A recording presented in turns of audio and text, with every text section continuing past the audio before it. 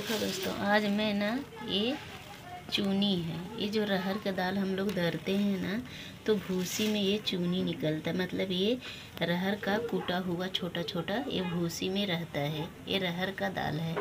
तो हम लोग जब भूसी साफ़ करते हैं ना तो मैं इसमें से ना भूसी साफ़ करने के बाद ये निकालते हैं इसका रोटी बनाने के लिए। तो इसको बोलते हैं चूनी। तो आज मैं चूनी का रोटी बनाने जा रही हूँ दोस्तों। आप लोग देखते रहना। ये तो ऐसे दिखा रही हूँ आप लोगों को। अभी मैं ये इसके पास आ रही हूँ। ये मैं भिगा चुकी हूँ, धो के अच्छी तरह से भिगा चुकी हूँ। भिगाने के बाद अभी मैं इसमें इसमें मैं चूनी का रोटी बनाऊँगी। इसको आधा घंटा भिगाने, में मतलब आधा घंटा नहीं, बीस मिनट तो भिगाना पड़ता है। मेरा अच्छे तरीके से फूल गया है। और इसके बाद इसमें इसमें मैं दो कटी हुई प्याज डालूँगी दो कटी हुई प्याज और लहसुन की कलियाँ। तो इसमें ज़्यादा ना लहसुन प्याज रहता है ना तो, तो तभी बहुत अच्छा लगता है खाने में।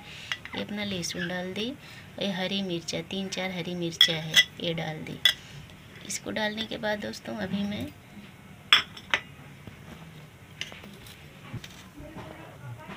इसमें आटा ले रही हूँ। देखो दोस्तों, इसमें मैं आटा ले रही हूँ। आटा अपना हो गया है। आटा भी हो गया है। अब इसमें हम सब, अब इसमें सब मिक्स करूँगी। लहसुन, प्याज और ये हरी मिर्चा, इसमें भी हल्दी डालूँगी। हल्दी डालूँगी और फिर इसमें फिर इसमें स्वाद अनुसार नमक डालूँगी। स्वाद अनुसार नमक दोस्तों। कभी भी ना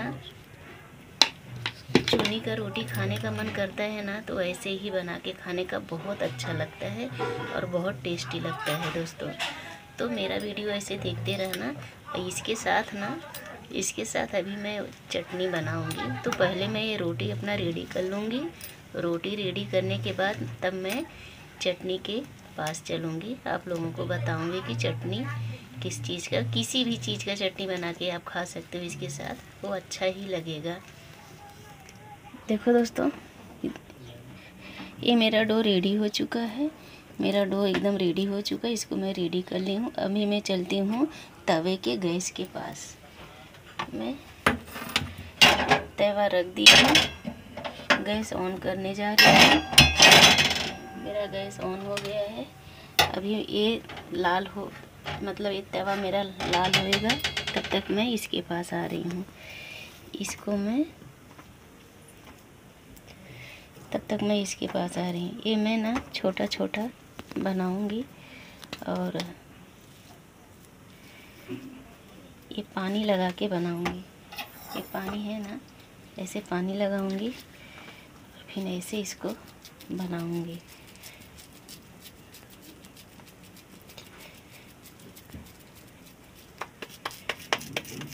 छोटा छोटा बनाऊँगी मैं। तो ये खाने में ना दोस्तों बहुत अच्छा लगता है, बहुत टेस्टी लगता है। ये बहुत मन करता है खाने मतलब खाने के लिए ना ये बहुत मन करता है। तो अभी मैं इसको ऐसा छोटा छोटा बनाऊँगी। छोटा चाहे बड़ा बड़ा भी बन सकता है, ऐसी बात नहीं है। मैं बड़ा भी बनाऊँगी। तो अभी फ़िलहाल इसको मैं छोटा ही, इसको मैं छोटा ही बना रही हूँ। उसके बाद मैं आपको दिखाती हूँ। तो रुके रहो। देखो दोस्तों, अभी मैं, ये मेरा अभी तवा पे ये लाल हो रहा है। अभी मैं इसको फिर से रेडी करने जा रही हूँ। तो मैं थोड़ा मोटा और बड़ा बनाऊँगी। ये मोटा बड़ा बनाने से ना मतलब खाने में ना थोड़ा मेहनत लगता है इसको बनाने में दोस्तों। मेहनत लगता है, टाइम जाता है, लेकिन खाने में तो बहुत अच्छा लगता है। इसको बहुत आराम से बनाया जाता है। क्योंकि इसमें आटा कम रहता है ना तो इसको बहुत आराम से बनाया जाता है। और इसको ना पकाने में टाइम लगता है दोस्तों। पकाने में तो बहुत टाइम लगता है।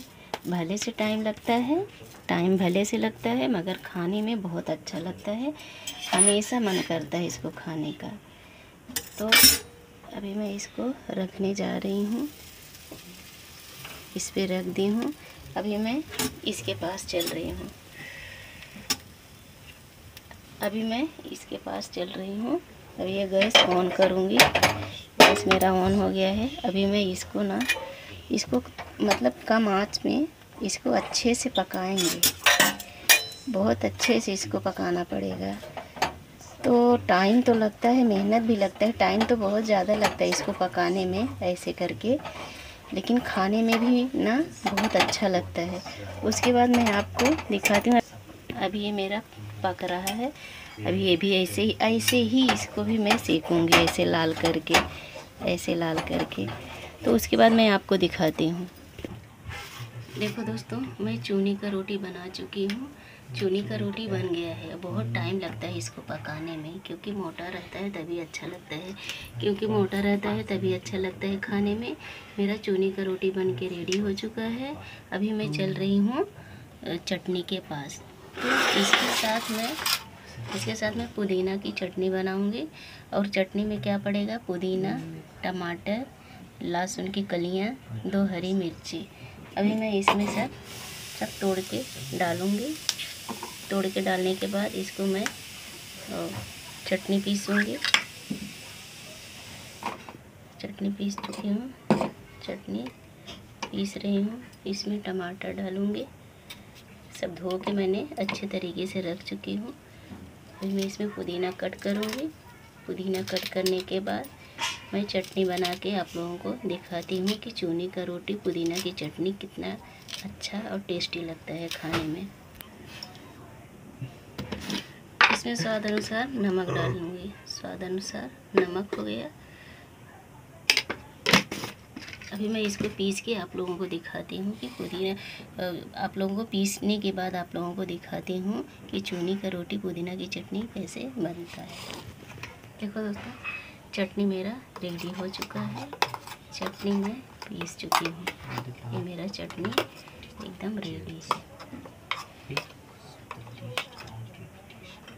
चटनी मेरा रेडी है। अभी ये सब सर्व करने चल रहे हूँ। तो ये चूनी का रोटी और पुदीना की चटनी। खाने में तो बहुत टेस्टी लगता है दोस्तों। तो ये ना सर्दियों के टाइम खाएँ और बताएँ कमेंट में तो ज़रूर बताइएगा कि ये पुद, मतलब पुदीना की चटनी और चूनी का रोटी मेरा कैसा लगा है। तो दोस्तों कभी भी आप ना चूनी का रोटी मतलब रहर का दाल का ही चूनी रहता है, उसका ही रोटी बनाई हूँ। कभी भी अगर खाने का मन करे ना तो अगर मुझे मतलब चूनी नहीं मिला ना तो रहर दाल भिगा के और उसको मिक्सर में मिक्सर में पीस के भी हम बना सकते हैं चूनी का रोटी। तो आज मैं चूनी का रोटी बनाई हूँ तो मेरा वीडियो अच्छा लगे तो शेयर करना लाइक कर लाइक करना शेयर करना सब्सक्राइब तो ज़रूर करना दोस्तों। थैंक यू दोस्तों।